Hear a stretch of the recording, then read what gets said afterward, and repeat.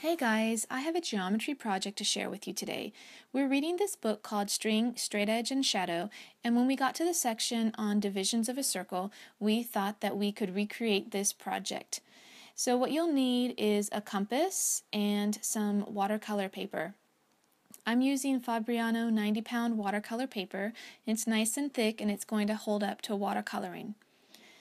So the first thing is you want to do your circle in the center of the page and you want to make sure that your compass doesn't change sizes as you're drawing your circle. And once you're done making your circle, you want to position your pointer on the outside of the circle, and then you're going to draw an arc that intersects the circle. Then you want to place your pointer at that first intersection and draw another arc. And then you're going to continue doing this uh, all the way around the circle. And you're going to be placing your pointer at each of those places where the arc um, intersects the circle. And in this way, you're going to end up with six somewhat petal shaped divisions in a circle. So it looks really pretty when it's done. And now we want to watercolor it. So I'm using Distress inks in the color of the rainbow. So we have yellow and orange and red and purple and blue and green. And these distress inks can be found at dickblick.com or at craft stores. You'll also need a heat tool, an embossing pen, and some embossing powder. And so I'm using clear embossing powder here, and then later I use um, a white embossing powder. And so with the embossing pen, it's going to stay wet and a bit tacky longer than a normal pen, and this allows you to add some embossing powder to your paper and it will stick to any place that you have this um, pen written on it. And so I'm going to add some of this embossing powder on it and want to make sure that it covers all of the pen. And then you just take off the excess and then you um, set it with a heat tool.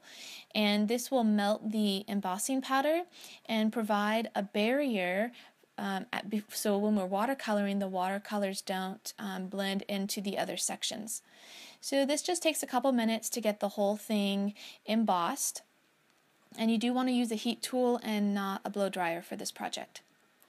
So this is what it looks like when it's all embossed and it leaves kind of like a shiny look to it. And then I'm using a stiff bristled um, paintbrush. It's kind of angled so it'll be easy to get into all these different corners.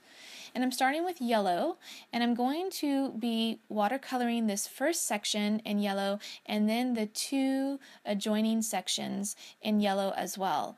And then when I move on to orange, I'm going to start in the next largest section with the orange, kind of at the fullest strength of the orange. It's not diluted.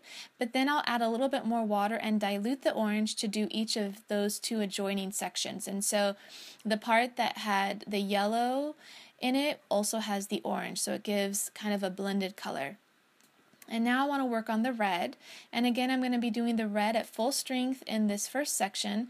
And then I'm going to add a little water to dilute it so that you get sort of like a red-orange in that little petal section.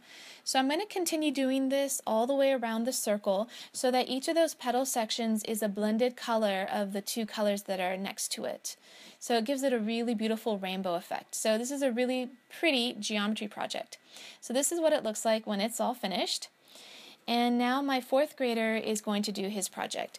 So he's already drawn the lines and he's already embossed the um, petals and the circle. And he's going to be going about this the same way um, with the yellow first and then the blended color on that first petal and then the orange and the red and so on. And so my kids really enjoyed this, and as soon as we were done all doing one set, they all wanted to go and do another one. And I hadn't intended to do this project as part of our geometry unit, but as we were reading the book, um, I realized that the kids weren't quite clear on this division of the circle. And to be honest, I didn't actually know about it either. And so now my seventh grader is going to do his project. And so when I was reading this section and it was talking about dividing the circle into six parts and and then it further the further divisions ended up getting to 360 degrees, I thought we could go outside and do this project with some string and some chalk. And then I thought, well, why don't we go ahead and do this right now with some watercolors? We had our compass and our embossing powder and um, the watercolors, so we thought, well, we'll we'll do it now first. And it ended up being a really beautiful project because we can't keep the chalk on the driveway for very long but this we can put into their main lesson books and i really love the way that they turned out. And so this is what my seventh graders looks like when it's all done.